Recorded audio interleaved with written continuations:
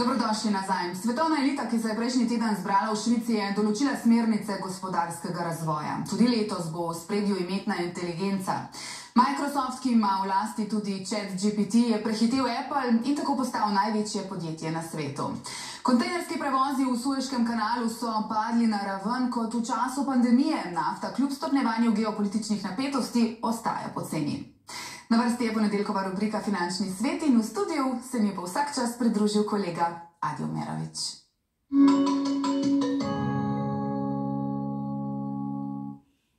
Adi, pozdravljen. Pozdravljena, Suzana. Bogati imajo če dalje več denarja, srednji razred počasi izginja, prepad med revnimi in bogatimi pa je če dalje večji. Res je in seveda svetovne elite, ki se vsak začetek leta s svojimi zasebnimi letali pripeljejo v majhno švicarsko mesto, se tega dobro zavedajo. Spoštovani, lepo zdrav. Kdo še verjame, da lahko elite rešijo naš razdrobljeni svet? Lani so izpostavljali besedo sodelovanje, letos izpostavljajo besedo zaupanje, ki ga seveda ni več. Kot ni več globalizacije, zdaj je vsaka država zase in zmagovalec je, glede na svetovne indekse, kot boste videli, ZDA. Ameriški indeks 500 največjih podjetij je letos v plusu, ostali finančni trgi so v rdečem, kot vidite. Ameriške delnice delajo bolje kot delnice Združenega kraljestva, bolje od evropskih, bolje od indijskih in od kitajskih, kaj šele od hongkonških, ki so padle, kot vidite, za več kot 10 odstotkov. In kje je razlika med bogatimi in revnimi največja? Odstotek najbogatejših ima največ v državah razvoja, kot vidite v Braziliji, ZDA, Kitajskem in Nemčiji približno tretjino. No, v Veliki Britaniji pa imajo najmanj, zanimivo, zgolj petino. In kje pa je brezposelnost najvišja? Najvišja brezposelnost je, kot vidite, v Indiji, Braziliji, potem sledi Nemčija in Kitajska pri petih odstotkih, potem je šele Velika Britanija in najmanj brezposelnosti je seveda v ZDA. Srž letošnjega srečanja elit v majhnem švicarskem mestu je zaupanje v drug drugega. Le tako bo svet kos izzivom, je prepričan ustanovitelj Svetovnega gospodarskega foruma, profesor Klaus Schwab. We losing the face of our future. We risk to become much more ego-centered and on a, on a national and individual level. No, na tej karti sveta vidimo, da so zeleno obarvani predvsem proizvajalci polprevodnikov, ki so zelo pomembni za čipe, ki jih izdelujejo tudi za umetno inteligenco. Recimo tajvanski TSM, to je tukaj, izdela kar 60 odstotkov vseh polprevodnikov na svetu. No, na nizozemskem je pomembno podjetje ASML, v Veliki Britaniji ARM. Potem pa imamo še recimo nemški SAP, indijski Infosys in uh, ASN, iz Irske, vsi oni pa stavijo na umetno inteligenco in zato so v zelenem Microsoft prav tako svoje storitve nadgrajuje in kot vidite je prehitev Apple, ki je ta vlak zamudil. Tako je pa izgubil tudi položaj največjega na svetu. No, proizvajalci čipov beležijo res lepe donose. Poglejte, tajvanski TSM je na New Yorkski borzi poskočil za kar 15 odstotkov letos, potem Super Microcomputers v prejšnjem tednu neverjetnih 51 odstotkov. AMD na trg pošilja novo generacijo čipov in je letos že 28 odstotkov više. Glavna na trgu je seveda Nvidia, delnica leta prejšnje leto in kljub če dalje večji konkurenci ima tudi letos neverjetnih 24 odstotno rast. No, vse omenjene ameriške delnice pa so prejšnji teden dosegle zgodovinsko najviše vrednosti. Skupno imajo vsa ta podjetja to, da so njihovi šefi iz Tajvana, najbolj znanje Jensen Huang iz Nvidia, ki rad primera prihod umetne inteligence s prihodom pametnih telefonov. It is very logical that a car industry has factories. They build things that you can see, cars.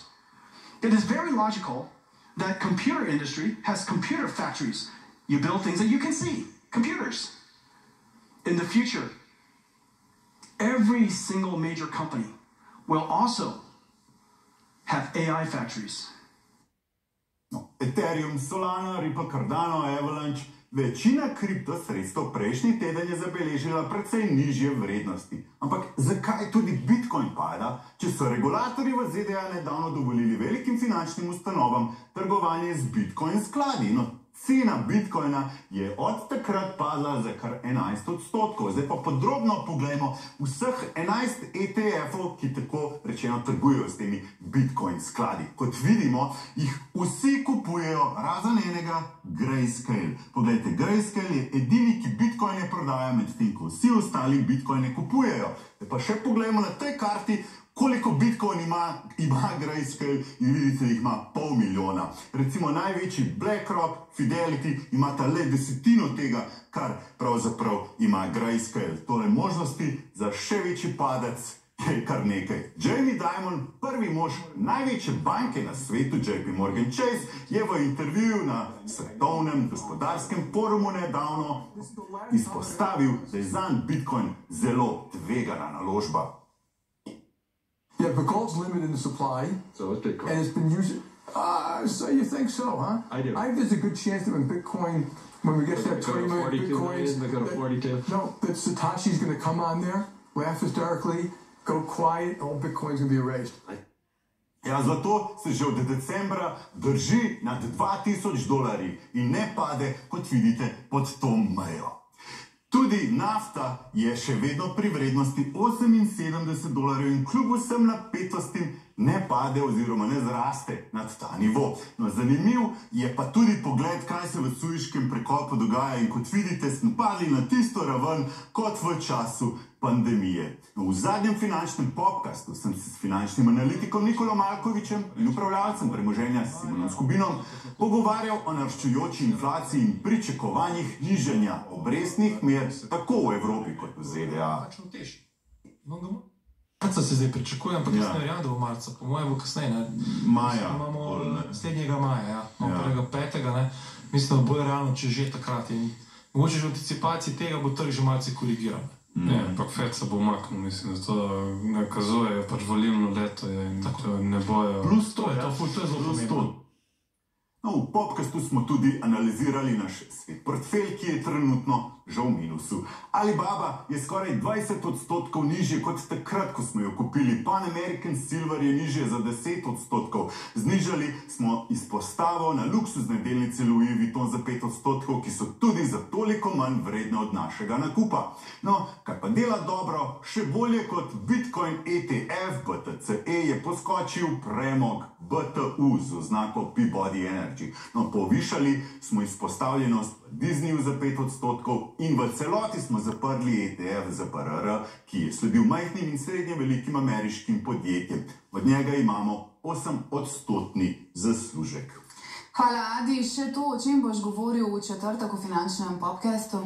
Ja, razpravljali bomo o ljudskih obveznicah, ki bojo kmalo na voljo. Izvedeli boste, kakšni so stroški, če jih želite kupiti, izvedeli boste, kakšni so davki, kakšno je tveganje. Hvala lepa za vašo pozornost, uspešen teden še naprej. Tudi tebi, Adi. Enako se vam.